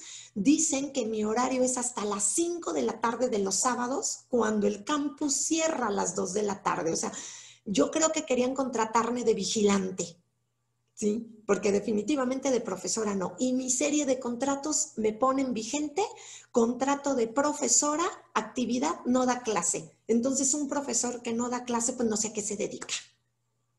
Entonces, este tipo de cuestiones ellos negaron otro de sus fraudes. Primero me lo quitan, luego me lo dan y luego me lo vuelven a quitar y cuando llegan a la junta dicen que jamás tuve la prestación del seguro social. Y a pesar de que yo demostré con el SINDO, con los documentos, con actuario de los movimientos que demostraban la intención y la concreción del despido, del abuso, de todas las mentiras, ellos siguieron cometiendo fraude procesal. En estas contradicciones que ha caído ahora sí que en los documentos la institución del Tecnológico de Monterrey, tenemos que una de las más grandes contradicciones entra justo en la renuncia que la obligaron a firmar en este episodio que nos relató al inicio de la entrevista. ¿Podría explicarnos un poco qué sucedió y pues la contradicción? Sí, mira, el Tecnológico de Monterrey, al igual que muchas empresas, actúan de manera inmoral. ¿sí? ¿Qué es esto? Ellos cuando tú entras te hacen firmar un contrato, pero al mismo tiempo te entregan una hojita blanca con otra hojita encima, con una ventanita. Y te piden que firmes allí. Si tú les dices que por qué, que esto es ilegal y que esto a todas luces, y esto lo dice la Ley Federal del Trabajo, es violatorio de mis derechos, y mis garantías individuales y derechos humanos tipificados por nuestra Carta Magna, ¿qué es lo que ocurre? Te dicen es que si no lo firmas, entonces no te contrato. O sea, te tienen entre la espada y la pared porque entonces estás desempleado si no lo firmas. Finalmente, ellos me hicieron firmar esta hoja que ellos dicen que es mentira, pero bueno, poco a poco se han ido descubriendo todas sus mentiras y todos sus fraudes y lo estoy demostrando con documentos públicos. Y entonces, y además notariados, todo está notariado. sin Nada de que no, no es original, todo está notariado, todo está con peritos, inclusive con grafólogos, porque se llevó un grafólogo donde se estableció que no correspondía el documento ¿sí? de la fecha que se tenía allí con la que ellos decían. Pues resulta que son, bueno, vamos a ponerlo en mi persona, en una técnica psicológica proyectiva para que nadie se ofenda. Soy tan boba que no distingo el 10 de febrero del 15 de febrero del 2011. O sea, mi memoria histórica no alcanza para distinguir una fecha de la otra. Pues resulta que hacen las cosas tan mal que sacan un machote y ni siquiera revisan las fechas. Y el supuesto documento de renuncia arriba dice 15 de febrero y abajo dice 10 de febrero. Cuando yo presento esto ante la Junta, yo lo presento, ni siquiera espero, no lo niego, yo lo presento. Hay un documento que ellos dicen que firmé como renuncia, no es mi renuncia. Ellos me hicieron firmar un papel en blanco como suele ocurrir con las empresas inmorales de este país. ¿sí? ¿Y qué es lo que ocurre? Que evidentemente ¿sí? Solicito la nulidad de dicho documento. Y el abogado llega y dice, objetamos tremendamente la nulidad, nos oponemos totalmente a ella porque ella la firmó, ¿sí? Redactando el 15 de febrero, pero con fecha del 10 de febrero. Yo dije, bueno, digo, y me van a perdonar la expresión, pero la palabra en la Real Academia de la Lengua lo definiría de esta manera. Estaba tan idiota que puse una fecha arriba y firmé antes, como ven, o sea, el documento lo hice el 15 de febrero, pero lo firmé el 10. O sea, además soy viajero en el tiempo. ¿Sí? Porque ¿cómo es posible que tengas esto? Y ellos lo ponen de esta manera y la Junta de Conciliación dice al lugar. Así de fácil, ¿no? O sea, la Junta de Conciliación finalmente, como les mencioné en la entrevista anterior, estuvo recibiendo dinero todo el tiempo, todo el tiempo. Y todas las pruebas que yo entregué, y todo el mundo me lo decía, y tiempo después me lo dijeron, es que no ha habido un caso más claro de un despido injustificado en la historia que el tuyo. No ha habido un caso más claro, pero tampoco hay un caso más claro, inclusive uno de los abogados me dijo, Elisa, llevo casi 40 años litigando en juntas de conciliación. He visto mucha, mucha porquería, pero la basura, que es el tecnológico de Monterrey, es digno de reconocimiento porque rebasa cualquier fraude, cualquier cuestión. O sea, son tan marrulleros que como saben que no hay manera de que demuestren que tú te fuiste, tienen que pagar para que la Junta lo diga. Doctora, ¿podría profundizar un poco más en lo que sucedió durante las juntas de conciliación?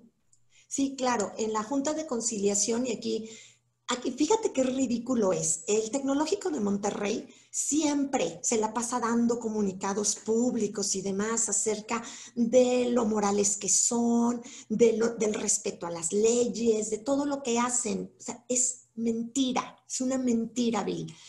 Eh, tú cuando estás en una junta, cuando estás en un procedimiento, se te hace un citatorio. Como ciudadano mexicano, tienes derecho a no presentarte dos veces pero al tercero te tienes que presentar, si no ya estás en un desacato terrible y pues te sancionan. Resulta que ellos en todo momento, no es que estamos en la mejor disposición, porque para esto pues ya habíamos tenido un problema con la Secretaría de Educación Pública, que si me permiten me gustaría enunciarlo de una vez. ¿sí? En la, yo entrego un documento en la Secretaría de Educación Pública, y eh, pues diciendo todo lo que estaba pasando, llevando los expedientes, llevando las constancias del Seguro Social de que me tenían dada de alta. ¿sí? Y la Secretaría de Educación Pública, documento con sello en original ¿sí? y documento notariado también, y que por favor les pediría que lo compartan, dice de manera muy clara, y no decimos nombres para la protección de lo mismo, simplemente en el primer párrafo el documento es de el Tecnológico de Monterrey, así de fácil, ¿sí? y ellos lo responden, engrapado aquí, me lo manda, tengo derecho como parte denunciante a que se me dé conocimiento de la respuesta. Y el licenciado Segarra, sí, simplemente dice que él es el representante del Instituto Tecnológico y de Estudios Superiores de Monterrey y que repudia categóricamente que la vía por medio de la Secretaría de Educación Pública, que porque no es la instancia para recibir quejas académicas. Se pueden reír. O sea, si la Secretaría de Educación Pública no es una instancia para recibir quejas académicas en este país, entonces ¿quién es? O sea, ¿quién? ¿No? Pero ellos dicen, no, esto adolece de cualquier cuestión académica y se tiene que dirimir en una junta de conciliación. Y cito, documento recibido, aquí está, Tecnológico de Monterrey y recibido el 3 de enero del 2012. Leo textualmente, ¿sí? El, aun cuando manifiesta la actora que ya ha iniciado un procedimiento laboral mismo que hasta este momento mi representada no tiene conocimiento por no haber sido notificado, no podría suponerse que dado el paso del tiempo por varios meses en los que la quejosa no ha realizado actividad laboral alguna para mi representada y la no existencia de constancia de demanda laboral esté buscando agotar este recurso inapropiadamente? Están reconociendo de la misma manera que hicieron en CONAPRE y que hicieron en InMujeres, que yo ya no trabajaba con ellos.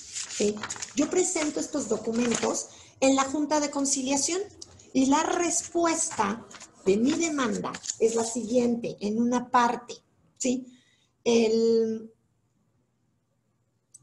a partir del día 16 de agosto de 2010, la actora fue contratada por mi representada como trabajadora subordinada. Sin embargo, la actora con fecha 10 de febrero de 2011 le presentó a mi mandante un escrito fechado el 15 de febrero de 2011. Ahora, reitero, soy boba, ¿no? Sí. En el cual, por así convenir a sus intereses, daba por terminado voluntariamente el contrato y o relación de trabajo.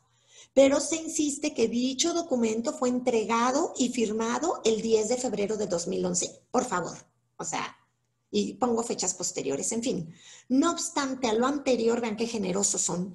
El 16 de febrero de 2011, mi representada y la actora celebraron un nuevo contrato individual de trabajo, el cual se encuentra vigente.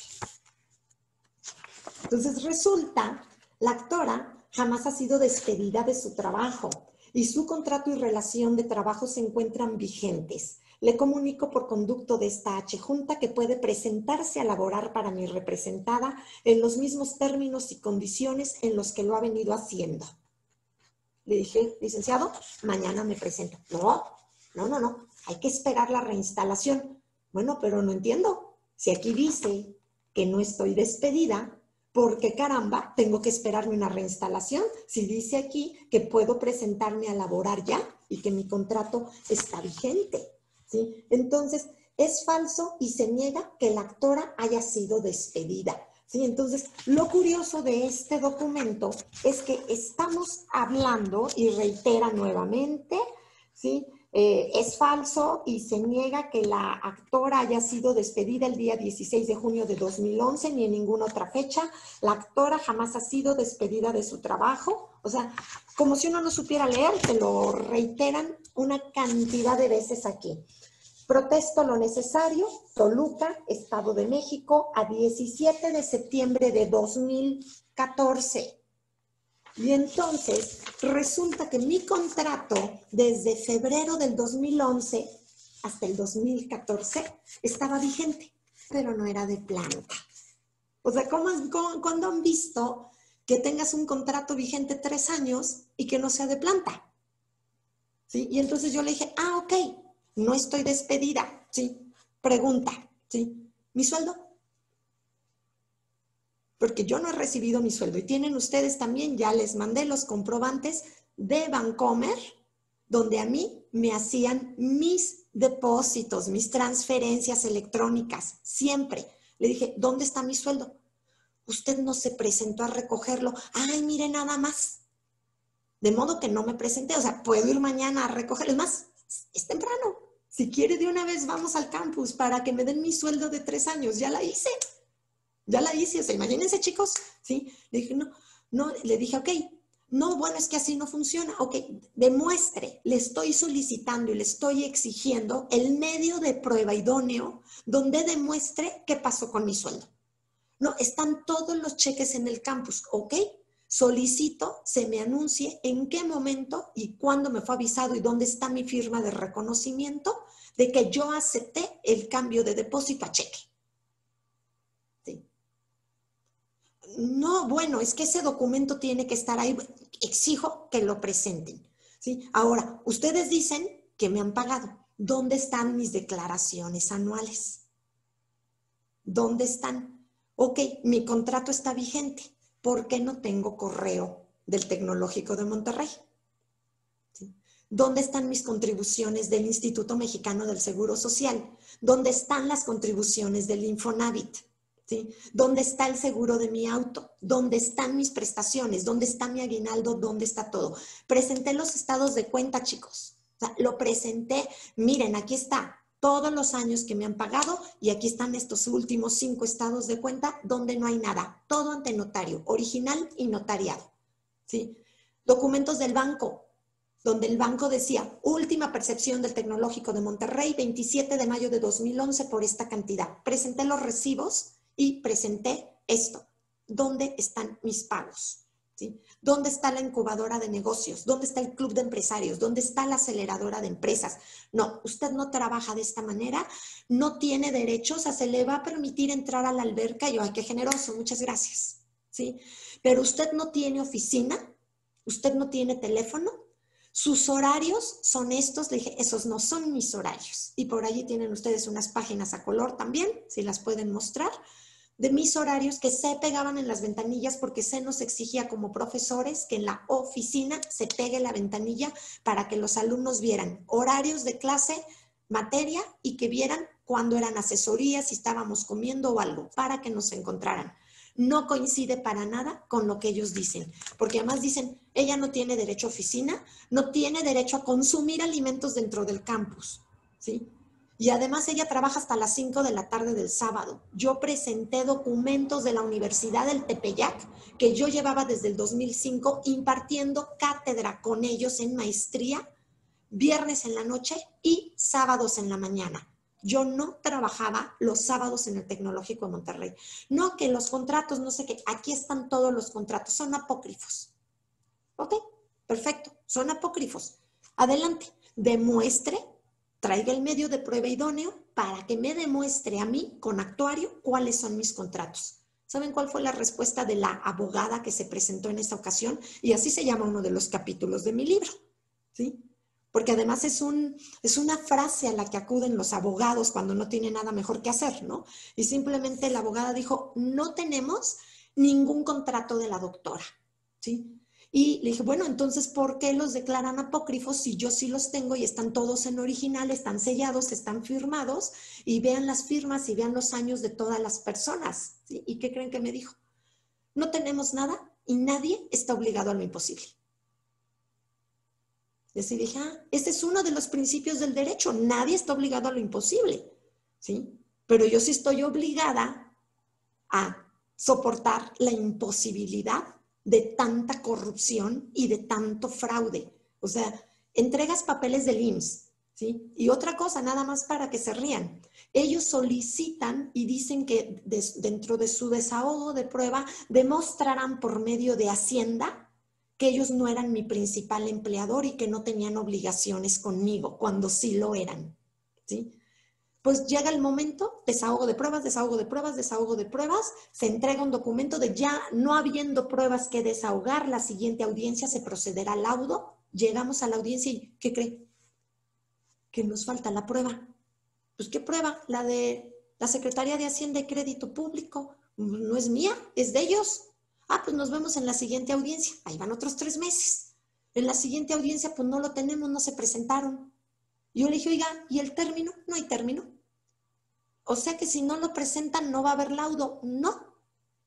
Otros tres meses, otros tres meses. Llegamos a un año con dos meses y ellos no presentaban la prueba. Y entonces yo le dije, bueno, ¿y aquí qué voy a hacer? Porque los señores ya ni se presentan. ¿No? ¿Saben, ¿saben cuál fue la respuesta de la Junta de Conciliación? Ay, mire, doctora, si usted quiere desahogar la prueba, si usted quiere que esto avance, pues usted va a tener que hacer el procedimiento. Le dije, a ver, me está pidiendo que yo desahogue una prueba supuestamente en mi contra para que el procedimiento avance. Este, pues sí, porque mire, pues aquí tenemos algunas que ya llevan 18 años, ¿no? Entonces, pues usted ya, pues ya lleva, pues también como 6 años, pues yo le sugeriría, si quiere que esto avance, desahóguelo usted.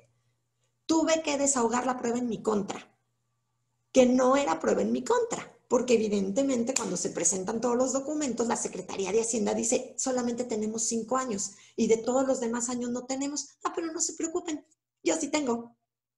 Entregué mis documentos.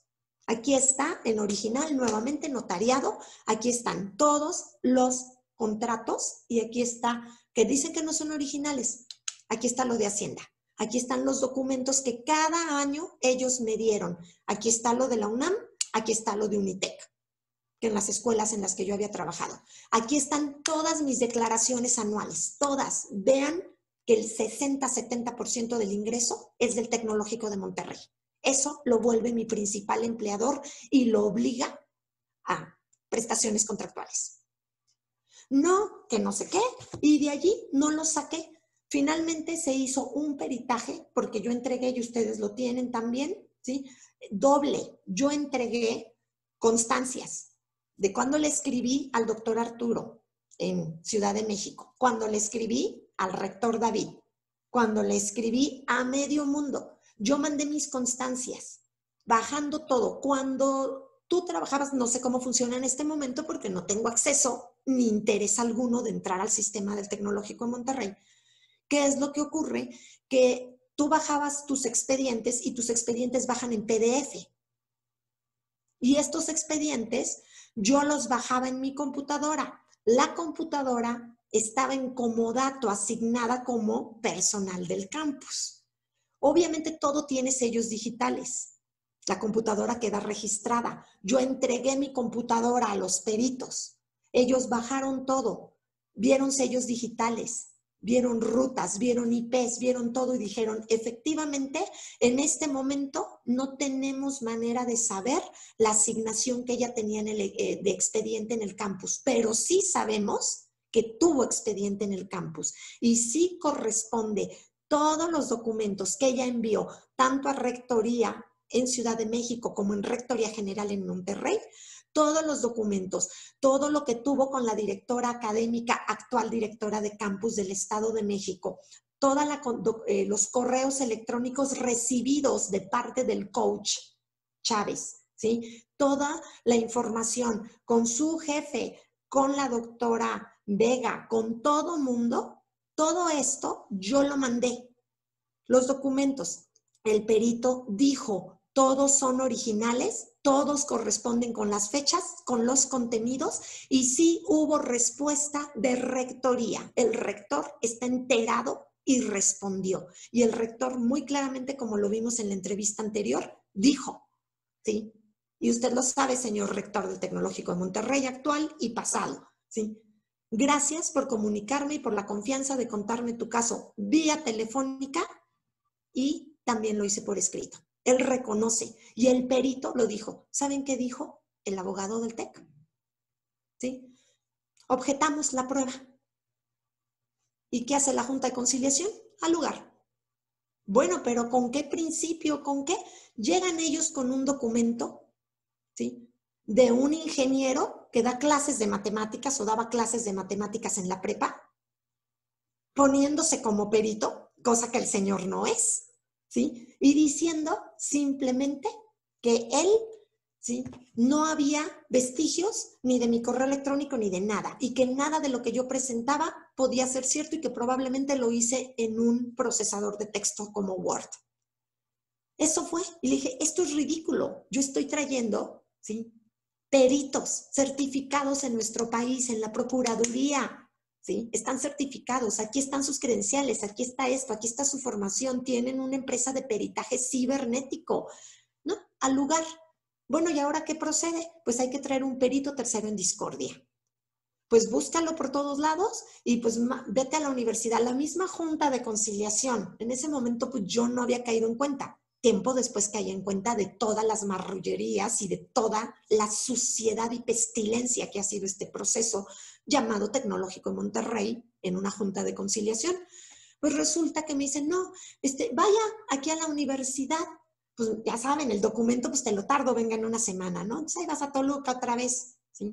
Y lleve, no, pues este, ¿ya lo revisó? Sí, sí son los datos, sí, ok, bueno, pues esto se va a mandar en dos o tres meses. ¿Cómo que en dos o tres meses? Sí, porque pues no, no tenemos quien lo lleve. La universidad está aquí a 15 minutos. ¿Cómo que no tienen quien lo lleve? ¿Lo puedo llevar yo? Ah, pues si quiere. Pues ahí voy yo a la universidad. Llego con el director del área de ingeniería para que vean la parte, ¿sí? Es cibernética. Y se me queda viendo y me dice, en serio, otra vez. Les digo, perdón, no tengo el gusto de conocerlo. No, no me refiero a usted, doctora. O sea, otra vez la Junta de Conciliación. Ya llamaron por teléfono aquí porque nos dieron, dice, usted es Elisa González del problema del tecnológico en Monterrey. Le dije, sí, yo soy. Ya llamaron. porque cuando se tienen que hacer estos procedimientos, ellos tienen que, este, tienen que proponer al tercero en discordia. ¿Sí? Y entonces no puede usted llegar con otro tercero porque evidentemente el tecnológico de Monterrey va a decir lo invalido. Entonces tiene que ser una instancia oficial, como en este caso, algún ingeniero de, en cuestiones cibernéticas del Estado. Ok, le dije, pero ¿por qué me dice que otra vez? Porque ya llamaron y se les dijo que no tenemos esa área. Eso fue hace tres meses. ¿Por qué la hacen perder el tiempo? Ahí voy de regreso y les digo, oigan esto. Ay, perdón, se nos pasó. No se preocupe, vamos a buscar otra instancia. Nos vemos en la siguiente audiencia. Otros dos meses. Me dicen, se les va a mandar a la UNAM. No se preocupen, si quiere yo llamo a la UNAM para que pues, no perdamos otros dos, tres meses. Llamo yo a la UNAM y me dicen, no tenemos ese servicio, Lisa. Pero busquen en la Policía Cibernética de la Comisión Estatal de Seguridad. Santo remedio. Llamo a la Comisión Estatal de Seguridad. Oigan, esto sí, sí tenemos el servicio. Tiene que dirigirlo a tal y cual persona. Yo ahí enfrente de ellos, anótele, anótele, a tal y cual persona. Y la otra persona así como que, ching, pues ya no podemos entretenerla otros tres meses, ¿no? Le dije, ¿me lo puede entregar? Y con mi abogado ahí, este, díganos, díganos, si no, por este, pues para irnos ya a quejar de un fraude procesal, porque ustedes están solapando toda esta conducta, no solo inmoral, sino ilegal del Tecnológico Monterrey. ¿sí? Finalmente, ellos lo que hacen es, me dan el documento, lo voy a entregar a la Comisión Estatal de Seguridad, súper amables, me reciben genial, me dicen, por supuesto, nos extraña que la Junta de Conciliación se esté haciendo tan tonta. Los peritajes cuestiones de teléfonos, computadoras, lo que sea, se llevan a cabo aquí. No sé por qué la traen perdiendo el tiempo. Luego ya pasaron seis meses. No se preocupe, se le va a dar respuesta. Finalmente, pasaron seis meses desde la primera vez que supuestamente me lo iban a entregar y tres meses desde la junta anterior. Ya llevábamos nueve, casi diez meses. Cuando ellos me dicen, no, es que no es válido. ¿Cómo caramba no va a ser válido? No, tiene que ser en la Procuraduría de Justicia de la República, bueno, de la Procuraduría General de la República. ¿y, ¿y de allí qué? O sea, la PGR, ¿qué quieren? ¿Que atraigan las investigaciones o qué? Y me dicen, no, simplemente ese es el procedimiento. Ah, no se preocupe, yo trabajo en la PGR, permítame. Le marco, ¿sí? A la persona que otrora jefe mío en el área de normatividad institucional, o sea, quien dirigía toda la cuestión normativa en el país, doctor en Derecho está pasando esto, esto y aquello. Y me dijo, ¿a quién tienes allí? dije, pues tengo, pásamela. Pues bueno, la otra se puso transparente y dijo, mira, ¿sabes qué? Dejen de perder el tiempo. Eso se hace en la Comisión Estatal de Seguridad del Estado de México. Dejen de estar perdiendo el tiempo. Pues ya no les quedó otra, ya finalmente me dieron el documento, lo entregué, pues cuando llegamos a entregar la prueba, ¿saben qué hice? Porque hubo una audiencia intermedia. Y en la audiencia intermedia había pasado un año. Me di el lujo de llegar con un pastelito de chocolate con una vela. ¿Sí? Y me dicen, ¿y eso para qué es? Ay, es que le estoy celebrando el cumpleaños a la no prueba, porque ya pasó un año y no podemos desahogar una prueba por cómo han estado perdiendo el tiempo. No, y el abogado se me quedó viendo y me dijo, este, mi abogado, y me dijo, es que usted no se aguanta. Le digo, es que esto ya raya en lo ridículo. No, la, una de las secretarias de allí de la mesa y además estaba botada de la risa, ¿no? Y dice, ay, miren qué bonito, y se le puedo tomar una foto y los demás se le quedaron viendo, y adelante, adelante, esto ya es una ridiculez. O sea, no es posible que no se haya podido desahogar una prueba en un, año. Finalmente, ¿qué fue lo que hizo? Llegó el perito, ¿sí? Policía cibernético de la Comisión Estatal de Seguridad con base en el C5 de Toluca. O sea, un búnker de protección un búnker, así de fácil, enterados de todo. El señor, el ingeniero, especializado en alerta Amber, en todo lo que tiene que ver con peritaje cibernético para secuestro de menores. El señor certificado en Nueva York, con reconocimientos en Europa, ¿sí?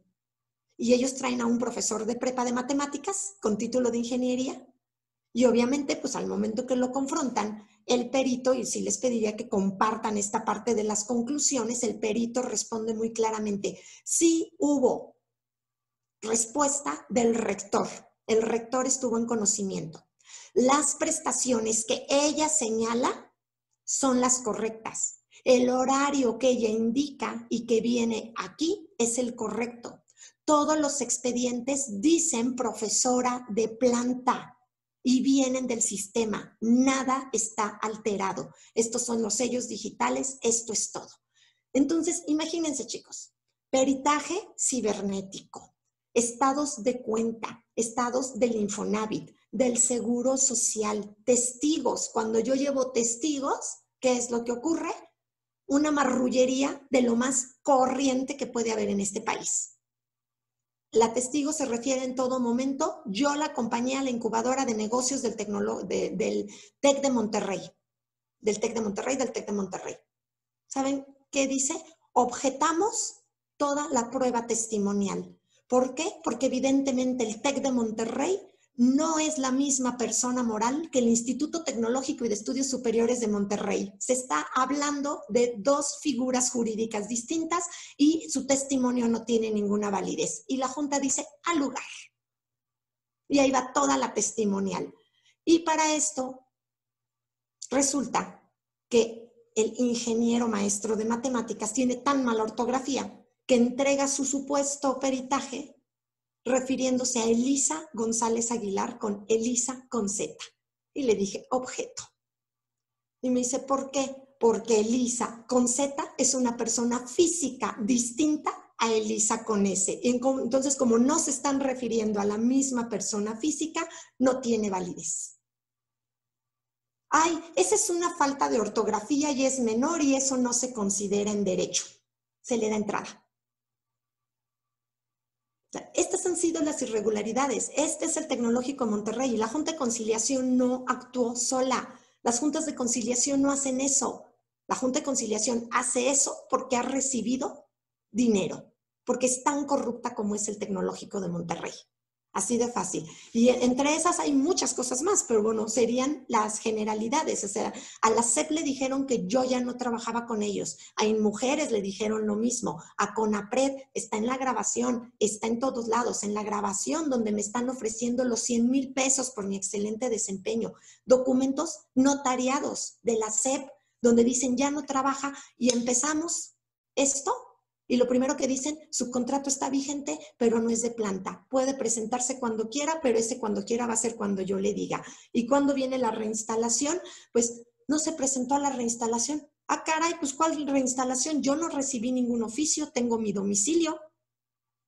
Dejé dos domicilios por cualquier cosa y estoy checando los avisos de la Junta y todo eso. Ay, es que, ¿qué cree? El día que salió su aviso se nos cayó el sistema y no se pudo hacer público. Y llega el abogado corriendo, un asistente del abogado, corriendo al término de la junta de conciliación, de la audiencia, y le dice, aquí está este documento.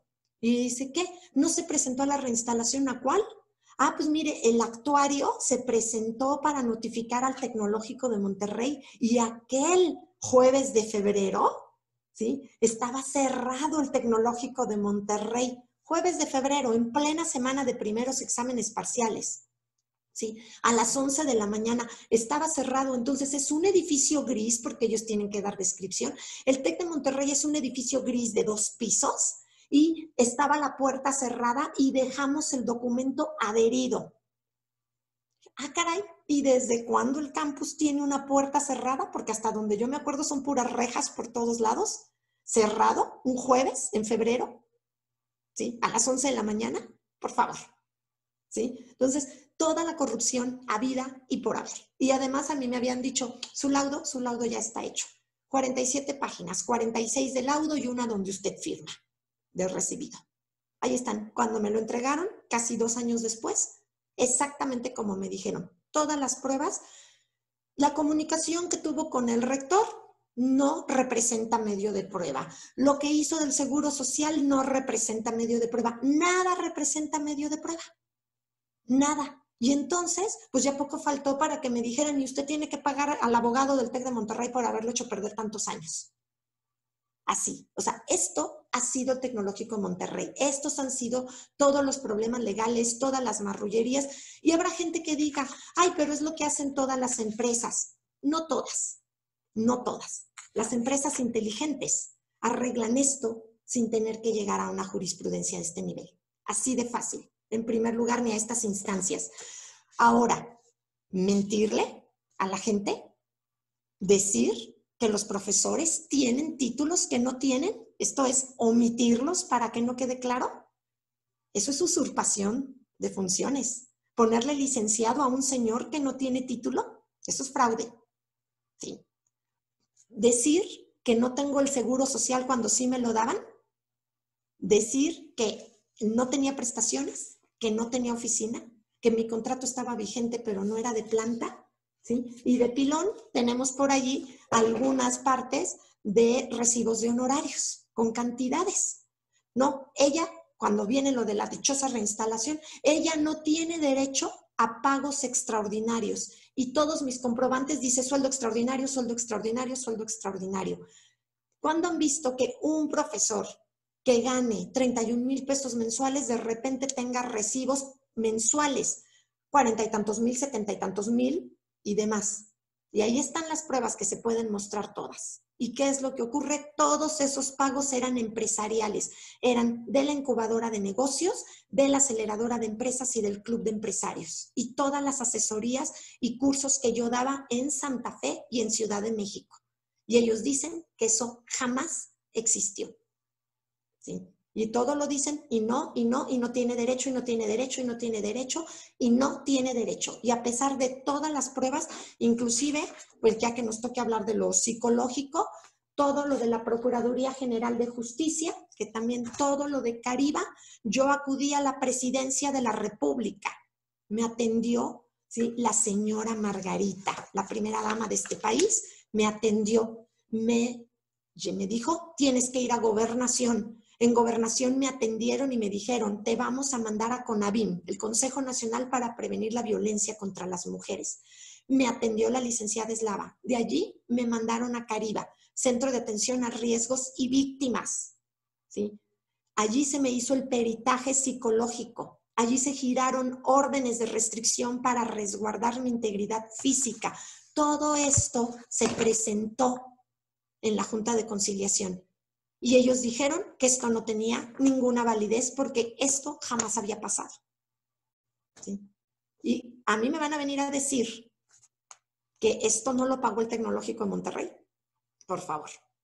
O sea, por supuesto, esto es, Entonces, a mí cuando me dicen, ay, que saca sus comunicados actuales, estamos en la mejor disposición de arreglarlo, pero no queremos conciliar. Estamos eh, negando tales o cuales cosas. Y recriminamos severamente, ¿sí? El que la sociedad sufra tanto y demás, sí, pues bueno, creo que ellos deberían leer la ley, ¿sí? En lo que es la ley de acoso de las mujeres y cómo debe erradicarse, porque no la conocen, ¿sí? Y no soy la única víctima y ustedes lo saben. Y esto ha sido años. Y esto no solo es laboral. ¿De dónde viene todo esto? Jamás en ningún documento se demuestra que yo tuve alguna falta o un retardo. En casi 15 años no falté una sola vez. No llegué tarde ni un solo día, como lo dije la vez anterior. Las 7 de la mañana son las 7 de la mañana. ¿Sí? ¿Y qué es lo que ocurre?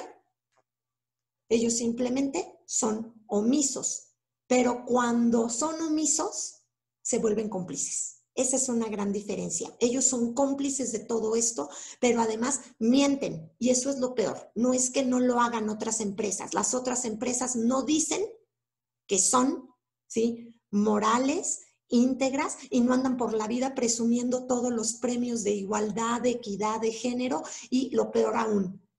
Si yo tuviera un hijo, nunca lo metería en el TEC de Monterrey, porque yo no quiero ni que mi hija sea violentada y que nadie le haga caso, ¿sí? Y no quiero ni confío en una institución que miente de esta manera, porque es una institución inmoral y es una institución que no merece la confianza de nadie.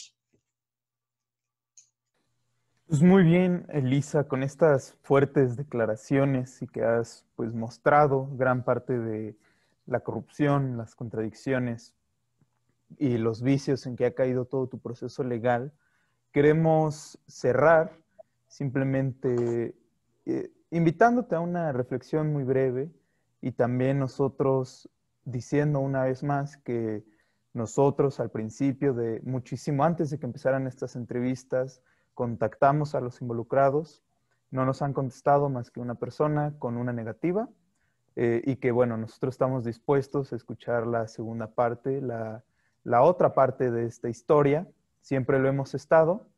Y bueno, ya para concluir, Elisa, tú has mencionado en denuncias públicas que estás básicamente buscando poner de rodillas a un gigante. Has utilizado esta frase.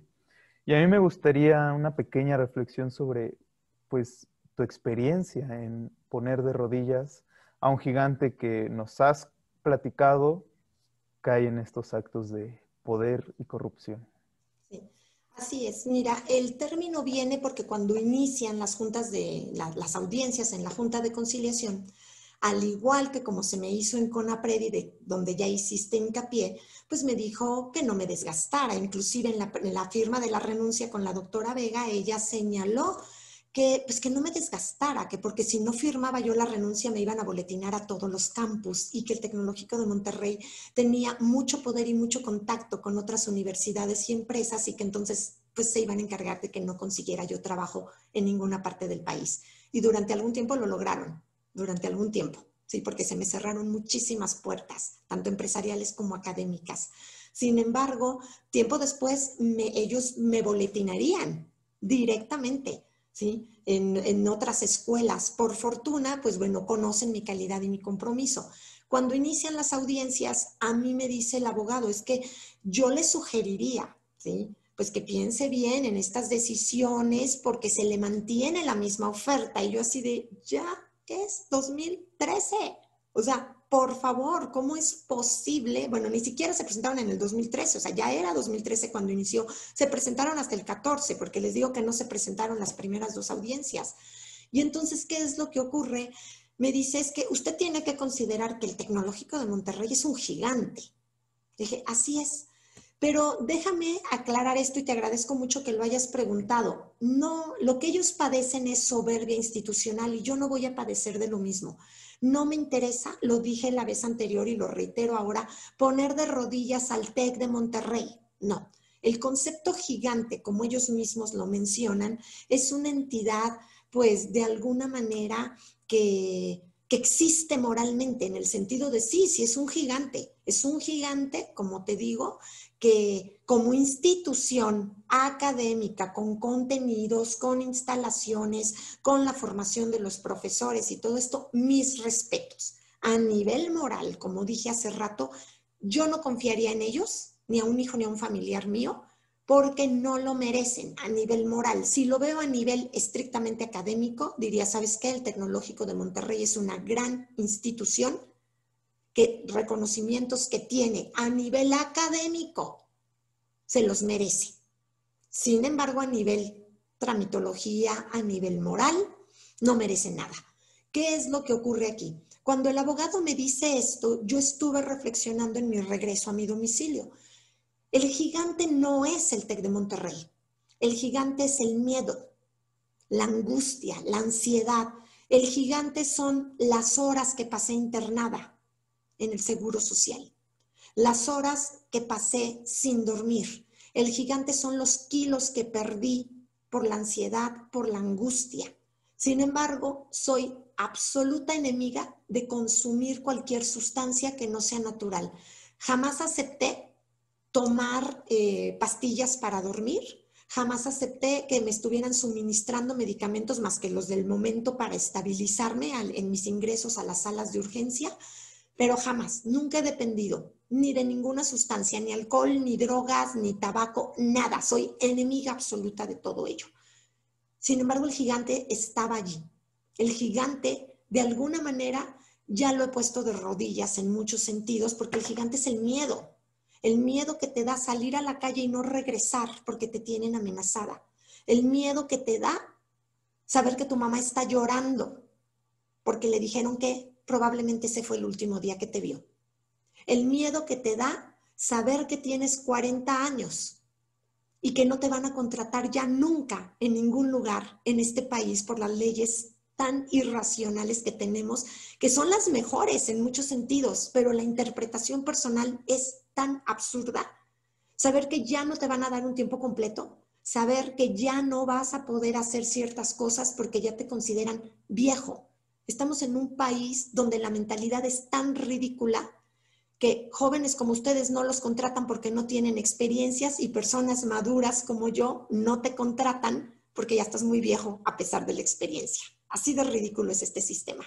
¿sí? Y entonces, ¿qué es lo que pasa? Ese es el gigante. No se trata de, ay, voy a poner de rodillas al TEC. No, ni me interesa. ¿Qué es lo que yo persigo con esto? Primera, que revisen el protocolo. Hay muchas jóvenes violentadas, muchísimas, que no se les ha hecho caso. Ha habido violaciones, ha habido suicidios y el suicidio es un feminicidio silencioso. Una chica que se suicida y así está tipificado ya. ¿sí? Ese es un feminicidio. La institución ha provocado feminicidios. ¿sí? Es así de fácil. Quizá la gente no alcanza a ver esto. Todo surge de un foro en el que estoy trabajando con el concejal de la alcaldía, que es la alcaldía Venustiano Carranza, donde pertenezco. Y entonces, ¿qué es lo que ocurre? Así de fácil. Es feminicidio. Estamos trabajando para llevar todo al Congreso, a derechos humanos, a la presidencia, a la ONU, a donde tengamos que llegar. Ya tenemos representaciones en diputaciones y demás. ¿Por qué? Porque son feminicidios silenciosos. ¿Qué ocurre con la muerte interna? ¿Qué ocurre cuando no te puedes levantar? Cuando te sientes culpable por algo que no hiciste, pero no puedes entender que una institución que dice respetar los derechos humanos, que forma seres humanos, ocupe todo su aparato legal para hundirte, para hacerte sentir mal, para hacerte perder capital, para todo, toda la suciedad y pestilencia que les he dicho. Y esto es el resumen de ocho años. ¿sí? Y entonces, este es para mí el gigante. Un gigante que lo ha sido y lo es por soberbia, pero que si fueran un poquito más inteligentes, un poquito inteligentes, dirían, no podemos dejar a una persona así. No podemos hacerle este, no podemos violentar a una mujer con cinco policías para que la saquen por la fuerza, ni siquiera a un delincuente o a una mujer delincuente se le trata así. Ahí está la Comisión de los Derechos Humanos para defenderla. A mí nadie me defendió de la violencia física y emocional, legal y de todo tipo. Nadie lo hizo. ¿Por qué? Porque los tentáculos económicos del TEC son muchos y alcanzan a todos los niveles. ¿Sí? Entonces, ese es el gigante. El gigante que estoy poniendo de rodillas es, no tengo miedo, porque no lo tengo. ¿Sí? Por eso hablo de esto. Aún en estas conferencias, en estas entrevistas, hay gente que me dice, por favor, cuídate mucho, ¿qué tal si te mandan matar o te mandan hacer algo? Sí, me dicen, ¿los crees capaces? Sí, sí, los creo capaces. ¿Sí? Y por eso lo dije antes, si algo me pasa a todas las personas y la distancia que he mencionado, los hago responsables. Entonces, ese es para mí, Brandon, el gigante. Y ese gigante Ponerlo de rodillas no es humillarlo, es a mí ya no me afectas. ¿Te tuve miedo? Sí. ¿Me enfermaste? Sí. ¿Me dejaste sin dinero? Sí. Mis cuentas eran generosas porque estaba por comprar mi casa. Todo lo perdí por todo el tiempo que no pude trabajar. Y no lo perdí, lo invertí en sobrevivir. ¿Sí? Ese es el gigante al que pretendo y al que he puesto de rodillas aquí adentro. Muchísimas gracias, Elisa, por tu tiempo. Y también muchísimas gracias, Brandon, y a la audiencia por acompañarnos en esta segunda parte de esta denuncia pública.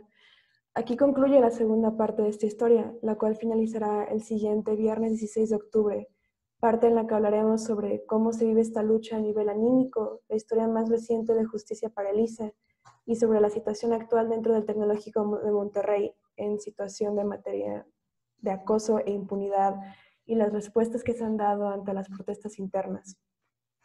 Los esperamos. Gracias.